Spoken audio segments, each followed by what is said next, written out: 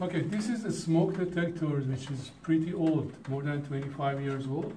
To open this smoke detector, you have to put a slot, actually hole here. You have to push it up and turn it, and then it's open. Okay.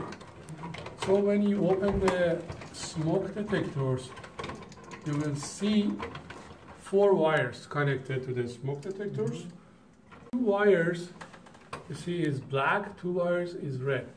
So one black and one red is coming from the fire alarm panel, which should have 24 volt.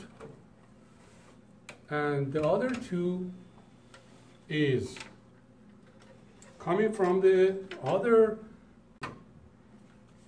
devices or from end of line. Here, which you don't know which one is coming from the panel, which one is coming from end of line. You have to bring the meter and then uh, find out. We put the uh, actually on voltage DC and then put the wires on here to see which one is the 24 volt. See, this one Yeah. Yes. 24 volt. And the polarity is, yeah, black is positive and red is negative, which is not right, but it's right, okay. And then the other two, so these two shows 24. The other two should shows uh, end of line resistor. Yeah, it shows 3.32 kilo ohm. So this is this two is from end of line or the other, and this is from the panel. Okay. If you see this uh, smoke detector, the new smoke detector has three spot, two spot for positive, one spot for negative. So Mhm. one positive which we found from the fire alarm panel, this black Mhm. goes to here, and then another black goes to here, Okay. and two red goes to the negative. Okay. The only thing is important, which one is the positive for the 24 volt. Yeah. And the other two is not important because end of line doesn't have positive or negative. Yeah.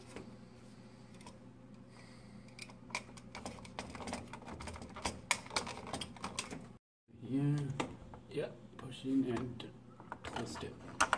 To the right. Yep. And then we have to wait the light flashes, it means the wiring is okay, okay? So it takes time, 30 seconds to flash. Yeah, Bing. flash. The bell is disconnected, yes? Disconnected. Yeah. Okay, and you can test it. Okay, goes to alarm. Okay. The reason that we replace the smoke detector because of the sensitivity, because inside the smoke detector we have radioactive and this radioactive after 10 years, 20 years getting weak, so it's mostly is too sensitive or less sensitive. If we do, we have to do the actually sensitivity test with special tools if we wanted to check the sensitivity because uh, after 10 years it's hard to get the you know the sensitivity in the right way the other things that we can do replace the smoke detector which is cheaper and better. So we replace the smoke detector and then in this case i think we are okay